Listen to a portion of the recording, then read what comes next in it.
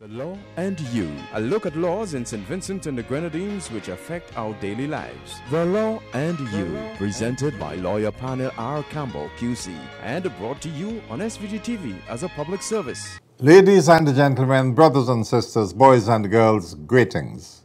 Welcome to another presentation in this public service nation building series, The Law and You.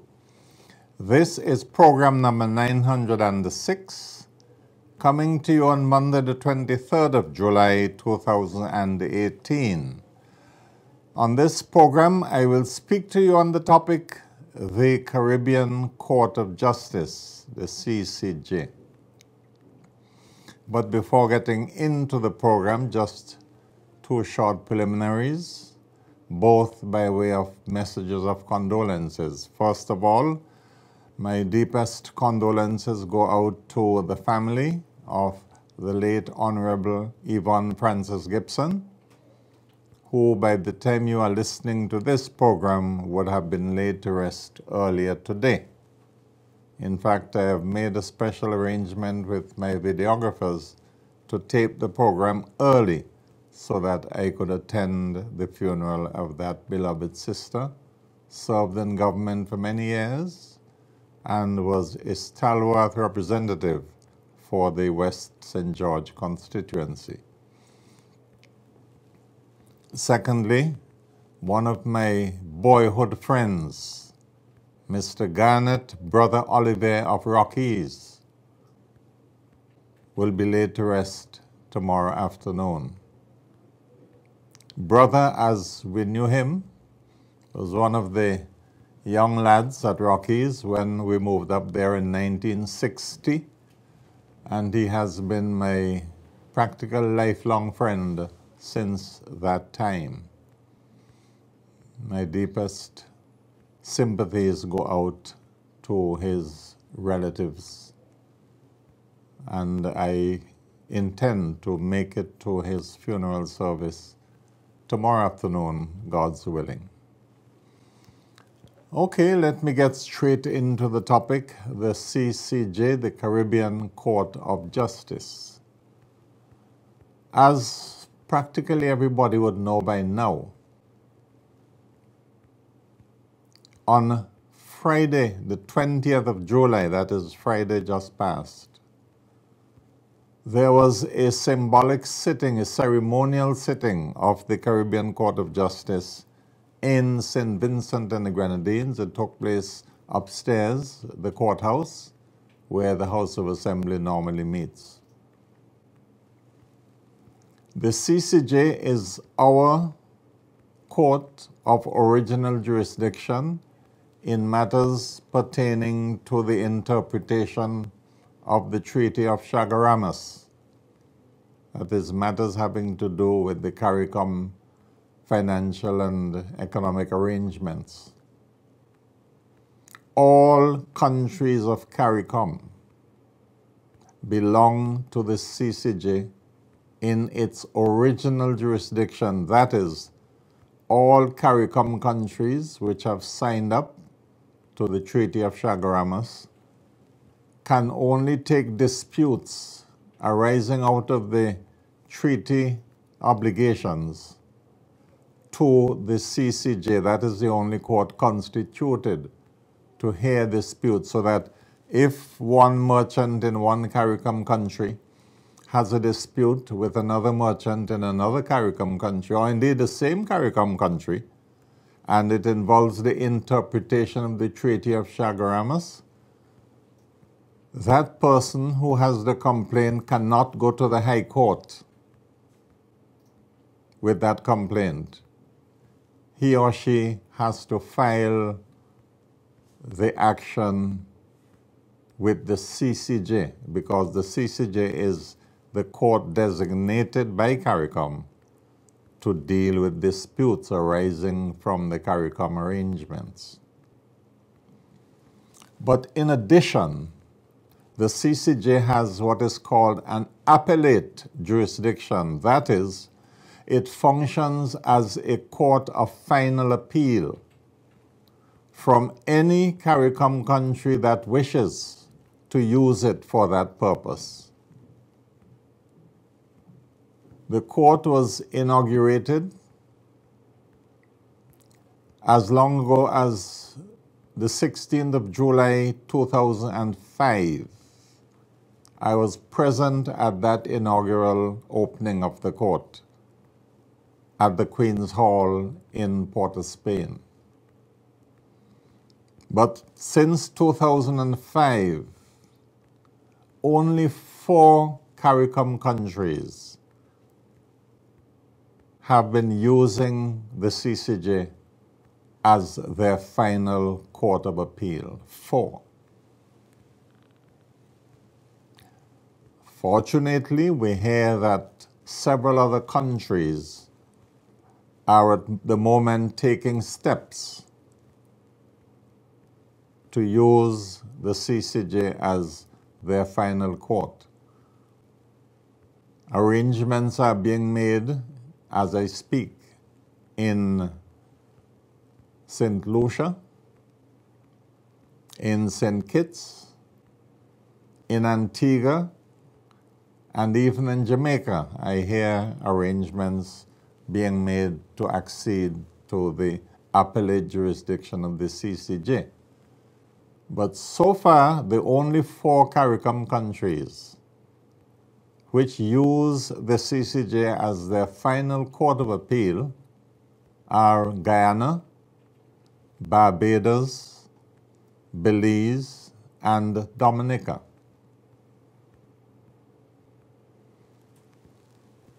The CCJ as a final appellate court replaces the Privy Council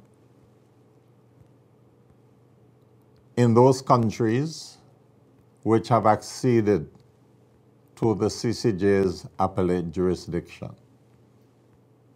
Right now, the Privy Council, and to give it its full legal name, it's the Judicial Committee of the Privy Council, is the final court of appeal from all the other Commonwealth Caribbean countries, except those which have cut off the jurisdiction of the Privy Council and are using the CCJ.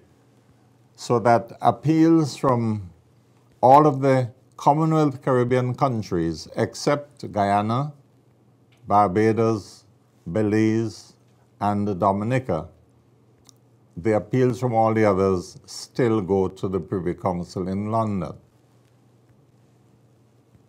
Therefore, countries, independent countries, face a choice.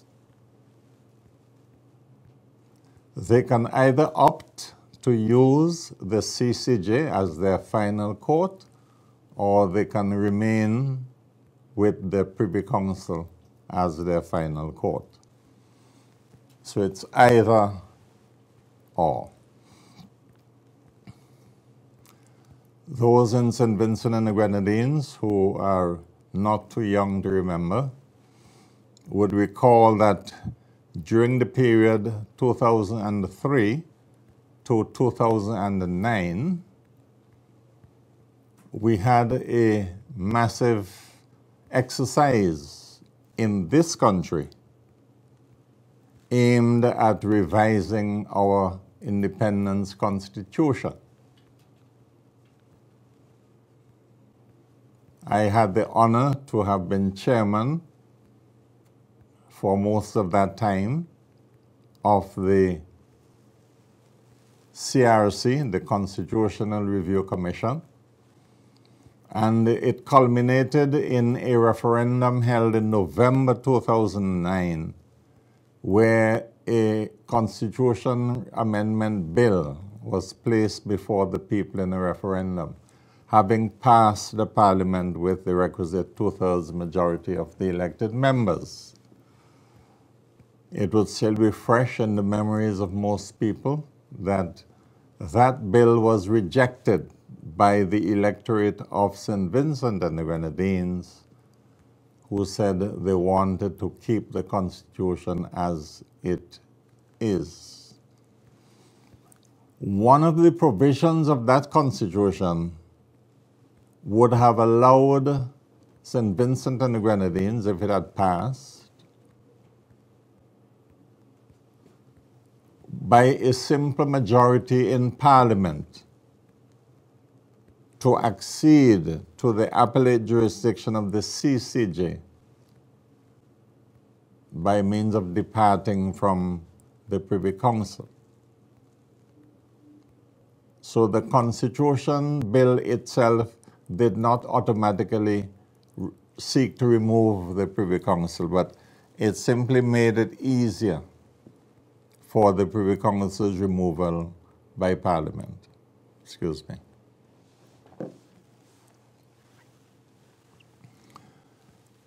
Now, in the course of this program and perhaps next week's program, I want to venture some of the main reasons why many people believe, including myself, that St. Vincent and the Grenadines should cease using the Privy Council as its final court of appeal and should begin to use the Caribbean Court of Justice for several good reasons. Now, I know there are those who are adamantly opposed to that.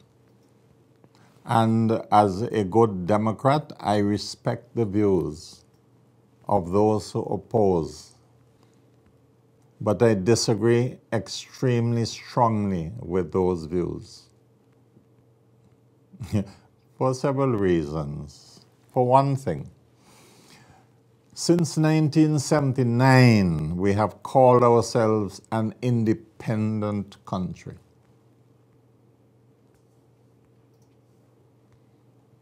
But a country cannot be fully independent if it depends on the judges in another country to have the final say on the interpretation and application of its laws.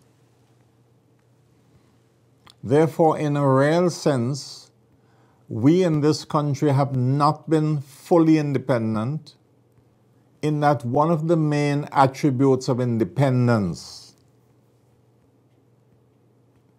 is having our own court to pronounce finally on our legal disputes. And that is why, as countries in the past got independence from England, most of them, if not at independence, but shortly thereafter, who were former colonies of the United Kingdom, remove themselves from the jurisdiction of the Privy Council in favor of the jurisdiction of their own final court of appeal because sovereignty involves making one's own final decisions. and therefore, we can't say we have come out of colonialism and still look to the highest colonial court for our final decision making. This is not to say that those who sit in the Privy Council are not competent. Of course they are. The members of the British Supreme Court are the ones who sit in the Privy Council. And I have every respect for the quality of British justice.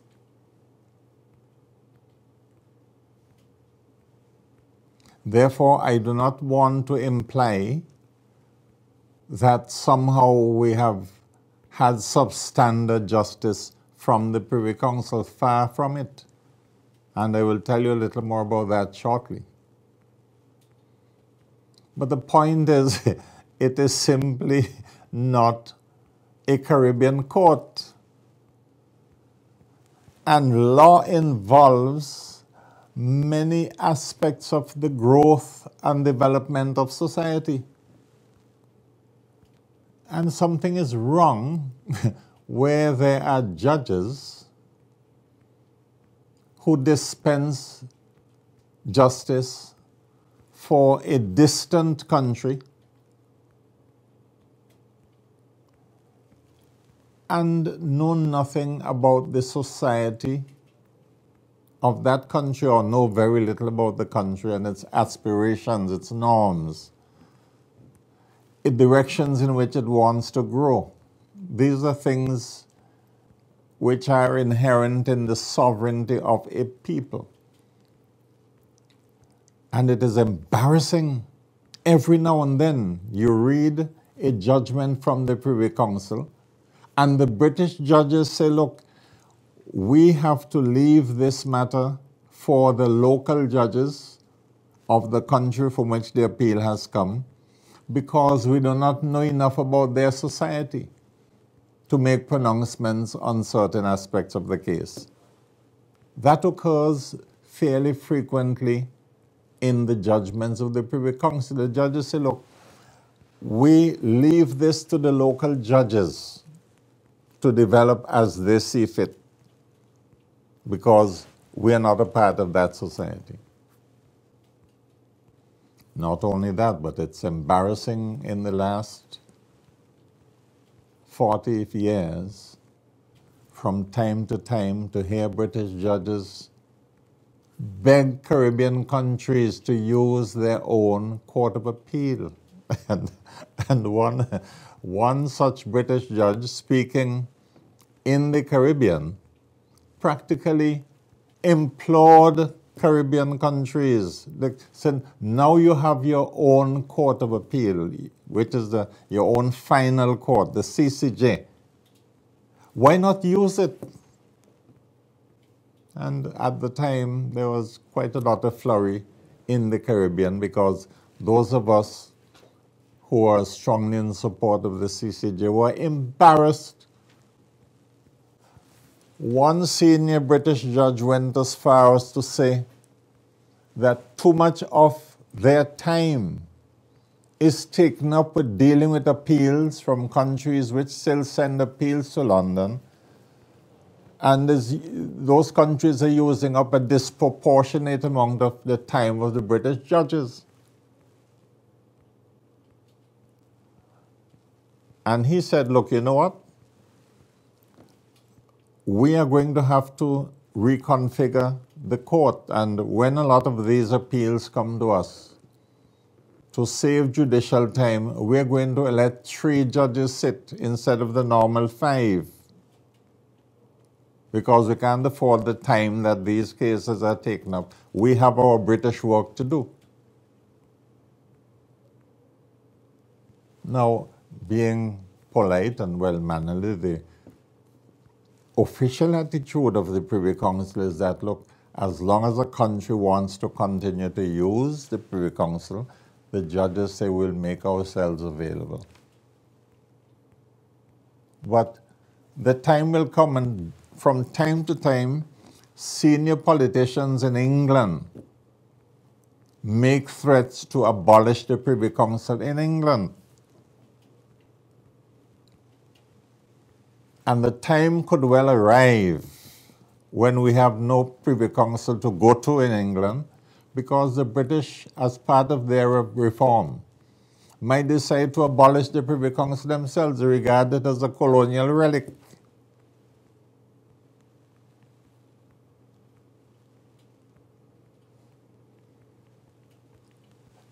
That is one aspect of the reasoning for us to use our before the CCJ came into being, the argument used to be to get your own final court. Well, we got our own final court, and it got going in July 2005.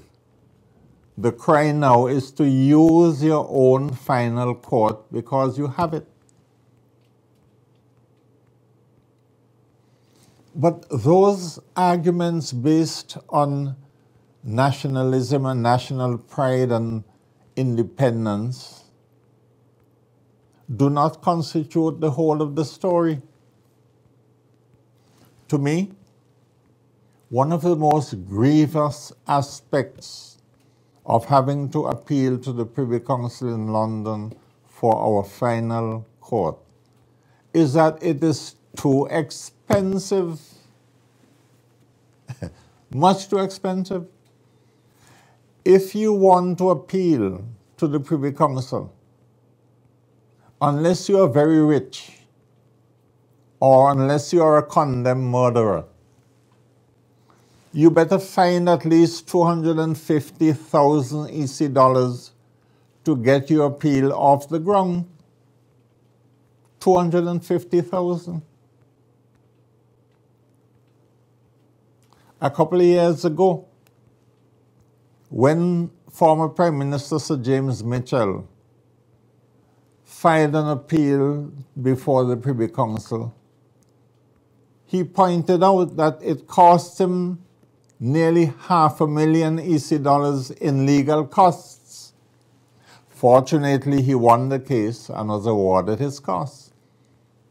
But before he was awarded those costs, he had to find nearly half a million dollars just to file his appeal in London and to instruct counsel, both from the Caribbean and London, to do his case. How many people could afford half a million dollars to have an appeal launched in London? Whereas, if you had to file an appeal, if we had the CCJ as our final court, and a litigant wanted to appeal, it might cost him 25 to 40,000 EC dollars, if so much, to have that appeal filed in the Caribbean. And the CCJ is an itinerant court. It has sat where the seat of the court is in Trinidad and Tobago but it has also sat in Barbados and indeed in Belize. And going to Trinidad to prosecute a case before the CCJ will only cost a fraction of what it costs now to go to London. Which is why when we had the ceremonial sitting of the CCJ last week, Friday, Justice Adrian Saunders, who is the new president of the CCJ, pointed out that in 30 years, in the last 3030 years, less than 15 cases were sent from St. Vincent to the Privy Council. So for litigants in St. Vincent and the Grenadines, if there's a judgment of the Court of Appeal that you do not agree with and you want to test, you can't because you simply cannot afford what it costs. I made an exception for condemned murderers. Condemned murderers get free legal services from UK lawyers as part of the human rights services provided pro bono, that is without charging. So the lawyers who specialize in death penalty cases, they don't charge the litigants here. There's a fund out of which they are paid. So it is ridiculous to know that for you to get final justice, you either have to be a murderer on death row or very rich to be able to afford what it costs to go to, to London. And if you have to engage an English QC,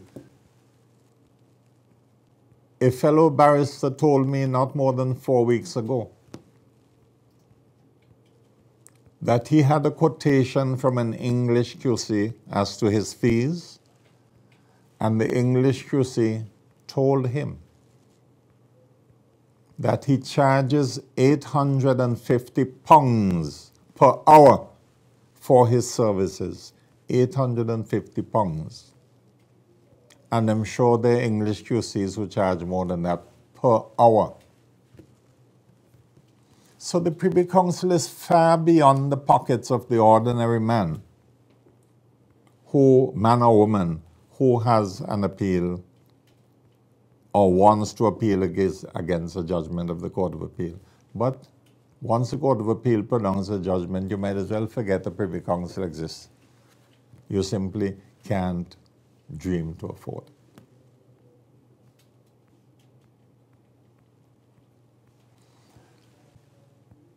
The CCJ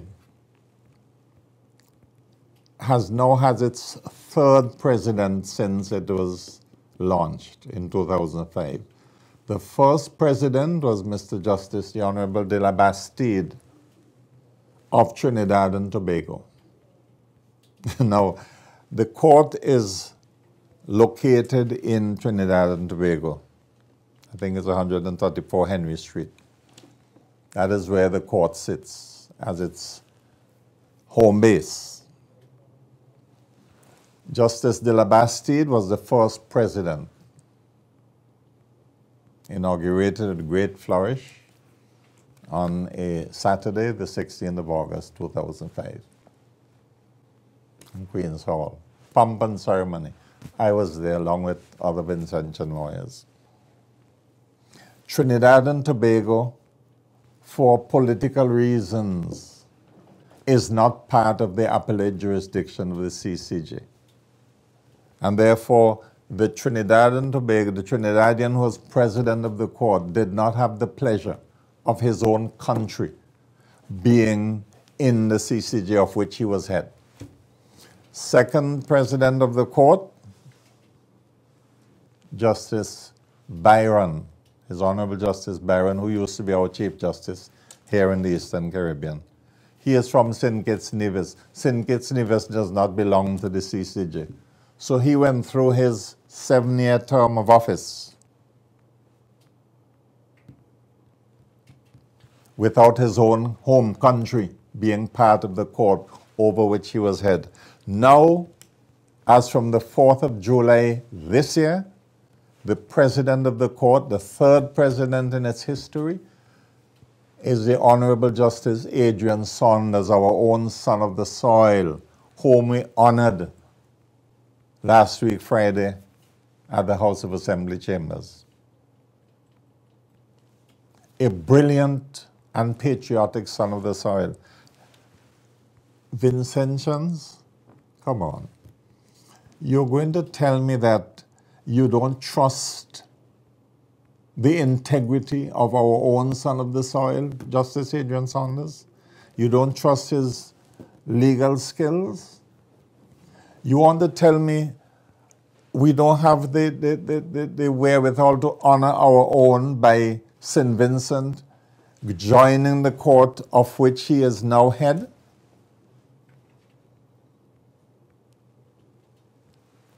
When I come to do next week's program, Divi, God willing, I will go more into the topic.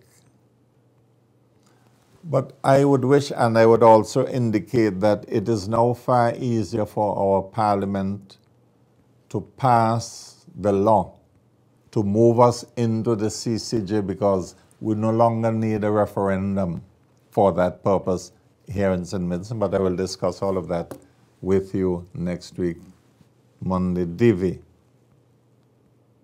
But I just want to say that I will be a campaigner and I will be beseeching the government and beseeching the opposition on behalf of the CCJ. It's time we in St. Vincent and Grenadines do the right thing. the honorable thing, the sensible thing, and get into our own court rather than having the Privy Council as our final court which 13 people in the last 30 years were able to use because of the largely because of the expense. But I will say more on the topic next week, Monday, Divi. So for now, may the good Lord continue to bless us in this Hairouna land of the blessed. Until then, ladies and gentlemen, brothers and sisters, boys and girls, Godspeed.